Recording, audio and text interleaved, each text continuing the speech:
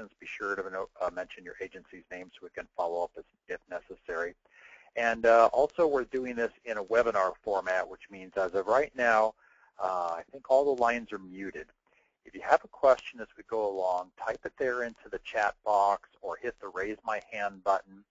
And we have staff who are monitoring it in the other room who will either interrupt me or unmute your line.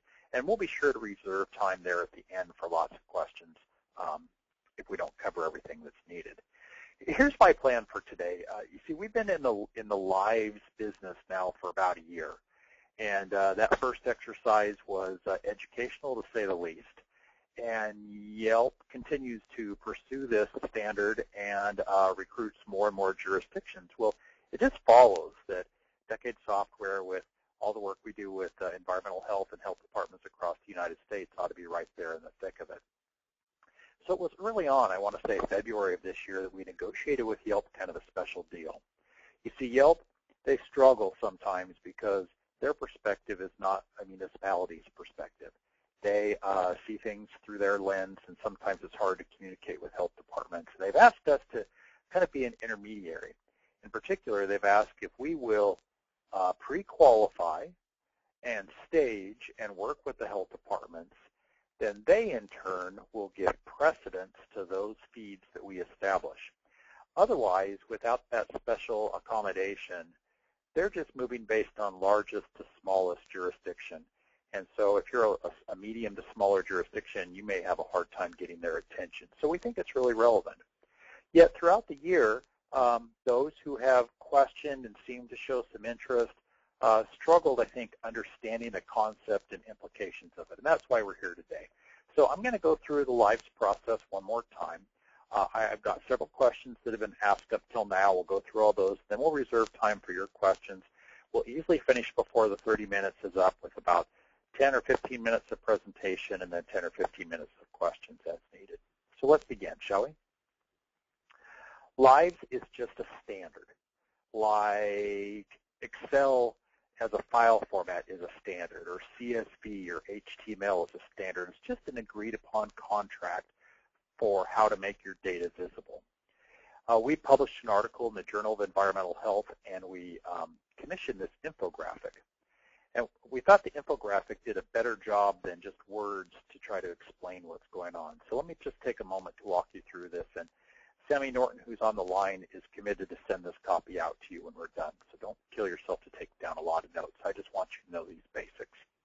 The concept is that your staff are out here doing inspections all the time, routine inspections primarily, in the course of their day-to-day -day business. And in my mind, um, the worst possible outcome for that work that represents your inspection would be to file it away and never think or look at it again. In my mind, we're looking for an opportunity to leverage that activity by informing the consuming public and also by convincing your operators to respond in kind to those matters that are raised. So in a flow such as what we're proposing, the work by the inspector is done using Envision Connect Remote or is conducted on paper with the relevant details being keyed into Envision Connect back in the office. You don't have to be in the field with computers to make this work, but you do have to have captured the routine inspections and violations at minimum. And of course, that's all being accumulated in Envision Connect. Now in Envision Connect, we culminate in um, a score. Some jurisdictions use a grade. Other jurisdictions might use a placard indicating a color. Green is good to go. Yellow might mean there were one or two issues, so forth and so on. And what we're looking for to participate in lives is some sort of culminating outcome from the routine inspection that's pretty easy for a consumer to understand.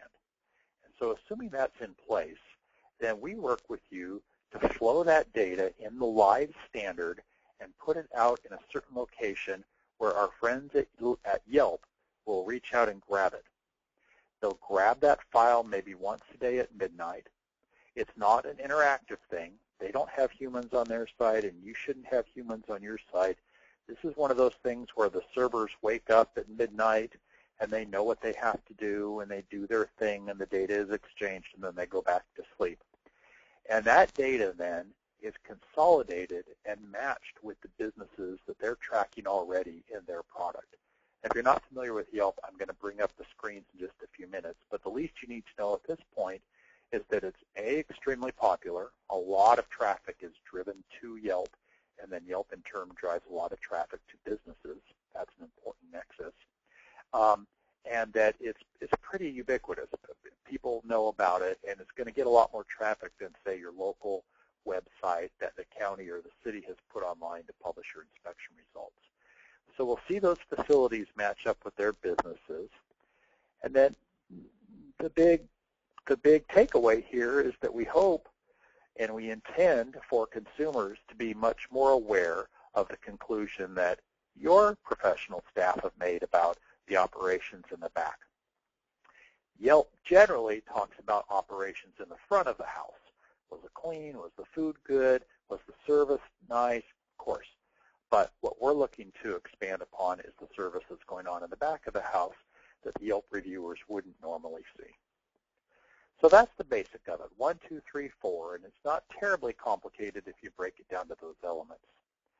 The benefits that we talk about are that this is a very low-cost way to take this data, we hate to see it just go in a file drawer, and never be looked at again, and broadcast it. It amplifies it. It makes it visible for the whole world to see.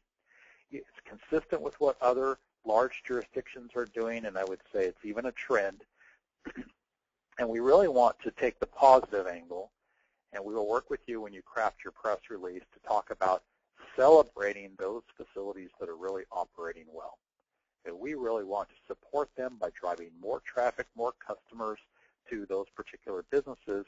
Of course, the subtext to that is that those businesses that are bad operators or marginal operators become aware of the influence of Yelp and the health scores and that they're behaving in kind. That is, that they're improving their processes. We even had an interesting um, experience here where one of the health departments with which we work um, routinely had to make data available to the local paper. And they would extract periodically all the permitted facilities, all the inspection results, all the violations, all the conclusions, and so forth in order to satisfy that request for public records with the live feed because it's a standard and any technical person can look to the standard and, and know what to do with that data, know what it means. They were able simply to point those requesters to this URL, kind of a website. It's a website not meant for humans. It's really a website meant for computers. But by pointing them to that URL, they were able just to satisfy that public records request because whenever needed, as often as daily, those folks go and grab uh, an updated snapshot of the inspection records and, and permitted facilities that are going on. So it kind of killed two birds with one stone, and that made it kind of a nice win for that group. One of the questions that's on my FAQ is, well, that's all well and good, Darryl, but, but what does it look like when it's all said and done? It, it really exposes itself through Yelp in two ways. One is through their website, which is very popular, generates millions of hits every month, and the other is through their mobile app. So I'm just going to drill into their website here for a sec because it's pretty easy, I think, for us to understand. So if you're not familiar with Yelp, its main mission is to track businesses and invite folks to uh, review them. Uh, the reviews culminate in stars, as you see here, a lot of comments, they also have an advertising component to what they do. All in all, it's to pair up consumers with businesses they would want to go to. And they do a great job at it. What we are able to add as, as environmental health professionals is this element right here. This happens to be Los Angeles County, where I simply started with a search for Chinese food. And I saw this right away, and I knew they were probably going to have an A, so I drilled in, and sure enough, they do have an A. This little tip, snippet here came from a Los Angeles County health inspector. And you can see it's hyperlinked. In addition to the A, I can see the hyperlink, and I can click on the hyperlink in order to identify the date and type of last inspection activity, routine would be typical, the violations that were cited by that inspector, the grade, which you see up there on the right, and then even a brief history, which is under your control going back three or four inspections and indicating in those cases what violations might appear. Now this is a good time to talk about how your data is presented through Yelp. So you don't get a lot of control over how the presentation goes because after all, you're fitting your data flows into a standard. And then Yelp is taking that standard data flow and they're presenting it in a common fashion all across the United States. But it's true that you still have some important control, and I think I think we've picked up on the right points. One is when a violation is cited, this text that describes the violation comes right from Conwiz. This is exactly the violation description for the cited violation. One interesting tidbit is that in Los Angeles County, and I'm sure it's true in many other jurisdictions, the violations are listed in the affirmative. As you can see here, food contact services, clean and sanitized. Well, that's in the affirmative. It's positive. We, after negotiating with LA County and Yelp, added this in advance, this standard text, to make it really clear that we have this standard we aspire to meet, and it was this standard that was not met in this particular uh, instance. If your violations, by contrast, are cited in the negative, then we wouldn't need that leading text, and either way, it's up to you. You get control over this text. The next thing you get control over is how your score or, or result is presented. And there are a few easy examples. My bet is most of the folks on this call fit into one of them. One is a score. If, if, if your jurisdiction scores, perhaps out of 100, then it's the numeric score that can display here and on the page before. If your jurisdiction grades, then there's a special little bit of logic that we configure with you that says if the score is from X to Y, then display this grade. If the score is from this number to that number, then display this grade, and that's how the grade appears. Third, if you placard, then we can do a similar type of technique by saying, based on logic that we build with your input and expertise, if the numeric score, and by the way, the score doesn't have to be a typical score like one would count up or count down based on um, the points assigned to each violation. A score could be calculated as number of critical violations. So we will work with you on that, but I'll just use score with air quotes to make it clear that we're going to define what that is. And so if the score is between a certain range, you could show the word green there for a green placard. If the score is between another range, you might show the word yellow or even show a yellow placard there. So we give the number in the live feed, but then we also give a little legend that says how that shall be displayed. And those are the ones we see most often. But really, it just boils down to this. It has to distill down to something that's easily consumable and understandable by the Yelp audience. They are not interested, that is, Yelp is not interested in long lists of violations with an expectation that their customers would know the significance of violation 11A versus violation 12B. That's just not what they're after, and we can understand and respect that. So this is the way in which the data will appear. If, in particular, you find a facility that doesn't have a health score, then just this little row does not appear. It's not a glaring indicator that the facility has not been inspected. In fact, it may have been inspected. It's just that certain aspects like, well, gosh, maybe you didn't match up the facilities uh, in this case, or it hasn't happened yet. Or maybe the type of inspection that occurred is not the type that you're pushing out through lives. Or it's even possible that there's been a change of ownership. And your policy is that following a change of ownership, the inspection work from the prior owner is muted so that the new owner can start fresh with a clean record. Those are all possible and perfectly valid under the lives um, uh, approach to things. So let me jump back in. The other way in which these things can appear is, is uh, through the Play Store or the App Store. Jump in there and search for Yelp. It's a free app. You can download it, install it, and you can see the same type of information on your mobile phone.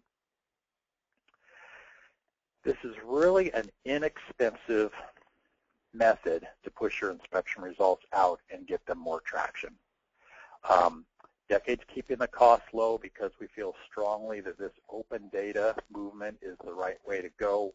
Uh, this is essentially identical to the fees for Press Agent. Press Agent is that website we have to publish inspection results, but those are dedicated just to one health department, one county. This, of course, integrates with the whole of the world, ultimately the United States anyway, um, to show your inspection results and score. And so you can get a sense here. If you're a little tiny health department, it's less than $1,000 a year. If you're a medium-sized health department to small, then it's going to be about 2000 a year. And if you're a larger health department, it's going to be about 5000 a year. But ultimately, it's, it's a relatively, sorry, it is an extremely low-cost way to approach things. The second common question I am asked is how long will it take? Uh, recall for a moment that we made this bargain with Yelp.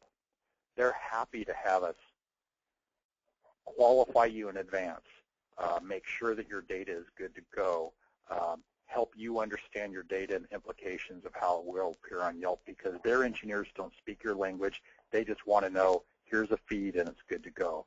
So that lets things move much more quickly. We would estimate we'd spend about a week's worth of time to discuss with you what data you want to appear. And we'll ask you questions like, gosh, you know, um, over here on your press agent site, you show three years worth of data. In your live feed, don't you agree we should show three years worth of data? They should be in sync. Yes, we would agree. And over here, you just show routine inspections. You don't show follow-ups and you don't show complaint investigations. Is that the same for lives? We probably would agree that's the same. And let's take a look at your violation text. Is that going to appear the way you want it to appear? Yes, it is. And back and forth. And so we'll spend that first week just getting the data flow the way you want. In the next week, we'll work with you to set up the server so that it's updated automatically. Overnight, while we're all sleeping, just wakes up and does its thing.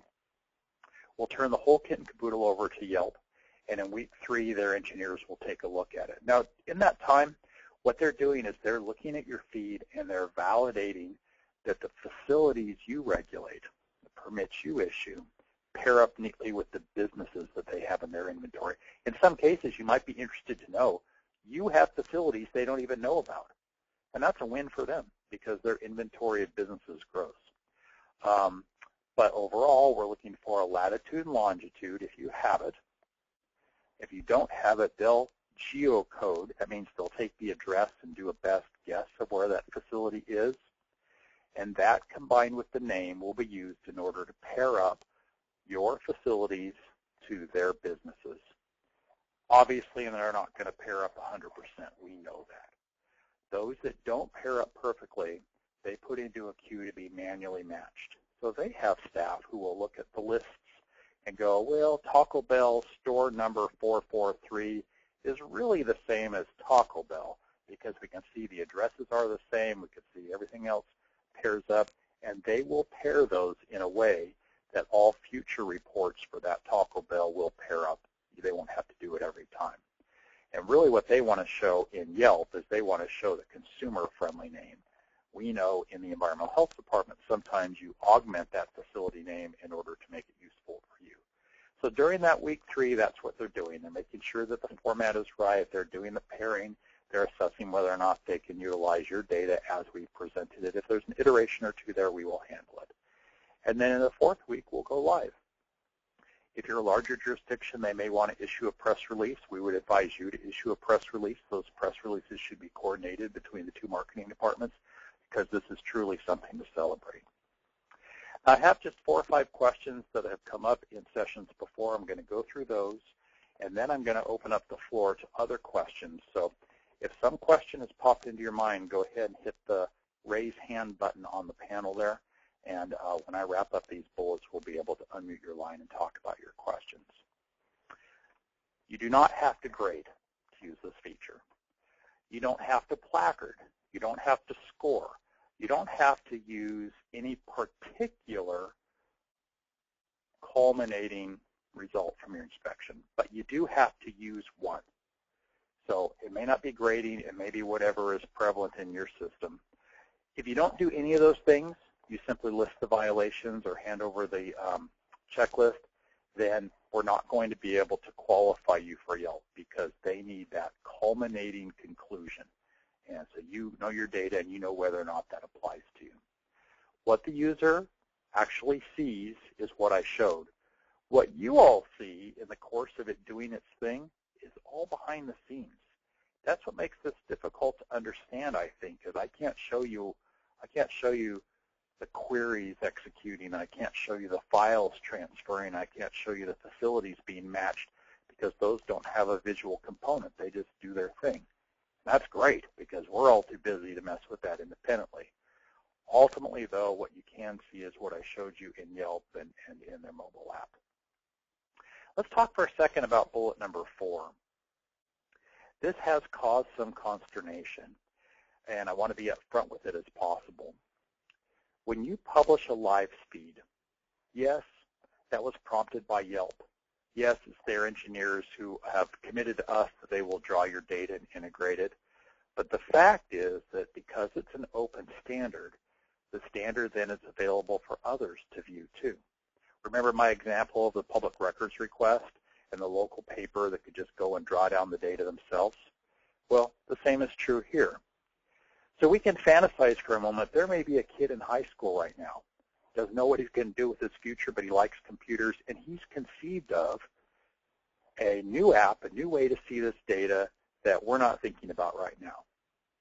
The idea of the open data is that he or his counterpart across the hallway could draw that data in and they could present it back in a way that adds value. That's a little unnerving to us, I know, because we don't want our data to be misunderstood and we don't want to be called on the carpet for misrepresentation of our data. We get that. We can help you monitor that. But I will make the point that open data as a practice among municipalities is becoming the new norm. City of San Francisco, City of New York, and lots of jurisdictions in between are embracing the concept of whether it's where the fire plugs are or what the bus schedule is or whatever, that all this data should be available and visible and transparent, I guess would be the buzzword. And so we believe routine inspection results fall under that category. We can help you monitor who's accessing the feed, but ultimately the feed is out there. And I think it's a good thing. This fifth bullet here was raised in a previous session. If you're committed to the FDA voluntary program standards for retail food, Standard 7 is all about industry and community relations. And in the detail there, it talks specifically about websites and making your information available to more and to more people and more observers. So it may be that this is one technique you can utilize in order to meet standard 7.